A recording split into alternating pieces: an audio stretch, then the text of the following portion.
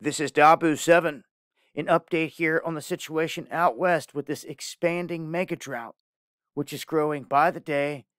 And if you missed all the live stream information, it ties in to exactly what they're talking about in this newest article about the weather being a key factor here, which it has been. Most people are oblivious to what is happening. When you look at the Jackson station the southern station where they go yearly to get their readings on the snowpack. It's supposed to have 66 inches of snow. It only had two and a half inches. This is the most severe it has ever been in our lifetimes at this point. That equated to like one inch of water.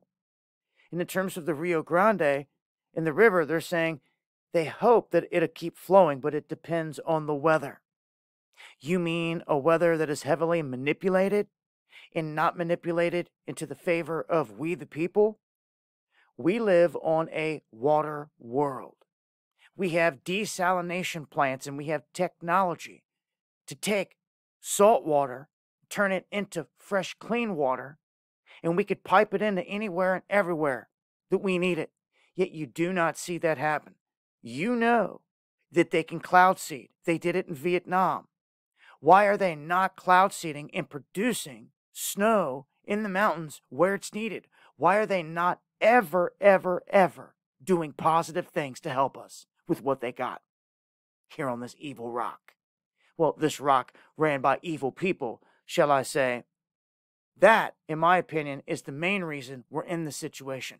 We could be fighting this, mitigating this, and really turning the tables with what we already have. They're doing nothing. Going to break this down further on the next live stream. What we all can do to help better our lives and break away from the beast. That's for sure. You'll find links below. Join me Friday night, 9 p.m. Eastern for the live stream. Hit that subscribe button for more. Much love, y'all.